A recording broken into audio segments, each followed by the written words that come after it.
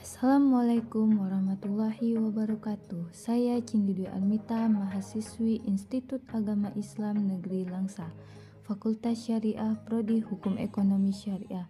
Saat ini saya sedang menjalankan kuliah kerja nyata berbasis media sosial di Dusun Alur Pangi.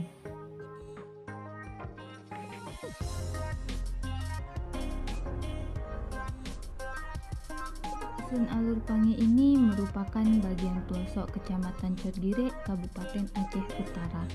Dusun ini terletak di daratan rendah antara bukit-bukit tinggi dan juga dikelilingi oleh kelapa sawit. Tidak banyak yang tahu keberadaan kampung ini, dikarenakan sangat pedalaman dan jauh dari pusat perbelanjaan dan juga kota.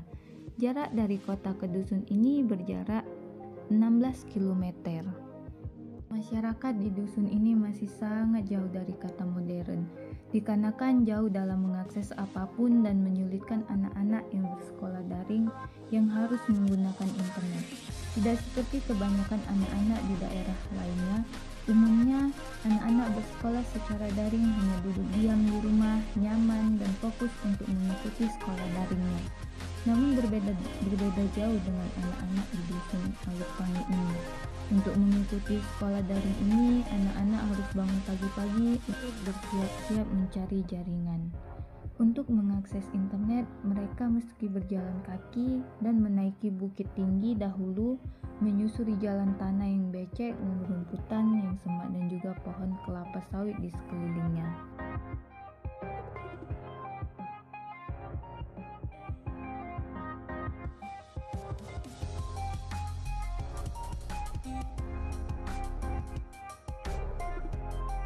Cerita perjuangan anak-anak untuk mencari akses internet mengusik rasa penasaran saya selaku mahasiswa YIN Langsa untuk mencoba melalui medan yang dia lakukan oleh anak-anak di dusun Alur Pangi ini. Sangat tidak mudah untuk mencari akses internet, terlagi dengan jalannya yang licin. Dengan adanya permasalahan itu, saya mempunyai ide untuk mencari titik jaringan internet yang kuat dan membuat gubuk sederhana untuk kenyamanan anak-anak dalam belajar yang membuat mereka semakin semangat dalam belajarnya.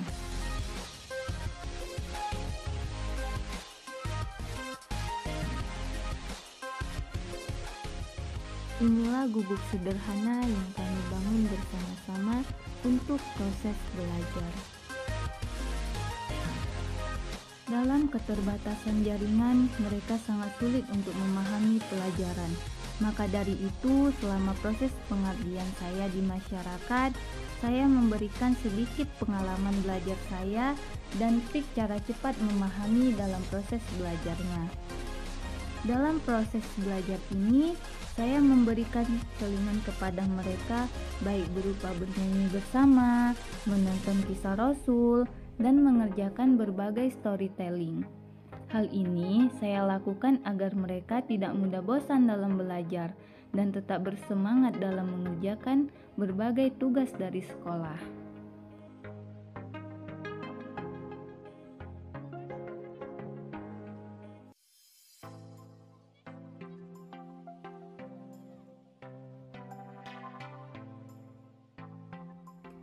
Inilah hasil pengabdian saya kepada masyarakat, khususnya kepada anak-anak di Dusun Alur Pangi. Semoga ilmu yang saya berikan dapat bermanfaat untuk mencerdaskan anak-anak di Dusun Alur Pangi ini. Bapak B.J. Habibie berkata, "Keberhasilan bukanlah milik orang pintar. Keberhasilan adalah kepunyaan mereka yang senantiasa berusaha." Sekian video kali ini. Sampai jumpa di video selanjutnya. Terima kasih. Assalamualaikum warahmatullahi wabarakatuh.